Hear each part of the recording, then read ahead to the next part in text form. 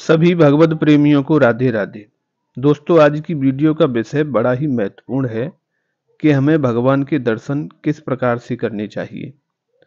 अक्सर हमने देखा है कि जब भी हम मंदिर जाते हैं और भगवान के श्री विग्रह के सामने पड़ते हैं तो हम अपने हाथ जोड़कर आँखें बंद कर लेते हैं और प्रणाम करके मंदिर से बाहर हो जाते हैं। तो क्या दर्शन करने का यह तरीका सही है? बिल्कुल नहीं।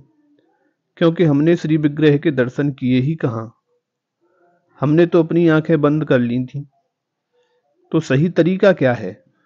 एक संत ने कहा है कि नैन भर देख्योरी देख्योरी नंद कुमार।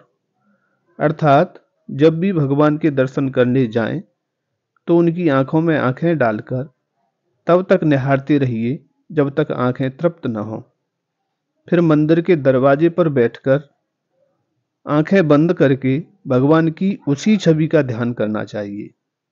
अगर ध्यान में भगवान की छवि सही से न आए तो दोबारा से मंदिर में प्रवेश करें और भगवान के विग्रह को निहारें। ऐसा तब तक करते रहना चाहिए जब तक आँखें बंद होने पर भी भगवान की छवि ध्यान में न आ जाए और इसी प्रकार भगवान का ध्यान करते हुए अपने घर पहुंचें। दोस्तों, हमें आशा है वीडियो आपको पसंद आई होगी। अगर वीडियो अच्छा लगा हो तो वीडियो को लाइक और शेयर कर दीजिएगा।